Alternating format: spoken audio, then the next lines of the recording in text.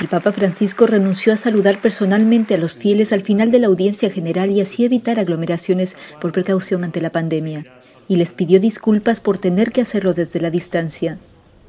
Ma succede che quando io scendo, tutti vengono e lì si ammucchiano.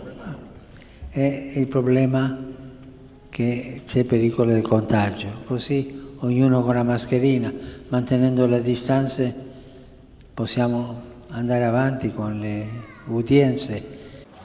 El Papa retomó las audiencias generales de los miércoles con los fieles el pasado 2 de septiembre después de seis meses de parón por el confinamiento. Y en esta ocasión por primera vez no ha pasado por el pasillo central para saludarles ni ha recorrido la primera fila como es habitual.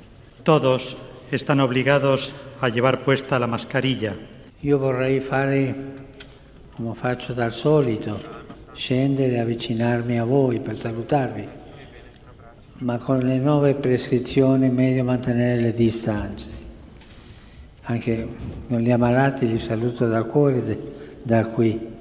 Al igual que en la audiencia del miércoles pasado, Francisco, de 83 años, no llevó la mascarilla obligatoria en la Ciudad del Vaticano, aunque en esta ocasión sí la usaban algunos de sus colaboradores. Al término del encuentro saludó de cerca a varios miembros de la curia, algunos sin protección, y después el pontífice desinfectó sus manos con gel. Las palabras del Papa se dan en un momento en que los casos de contagios en Italia van al alza. Ayer se rozaron los 6.000 en 24 horas, cifras que no se registraban desde marzo en los peores momentos de la pandemia, aunque en la actualidad se hacen más pruebas.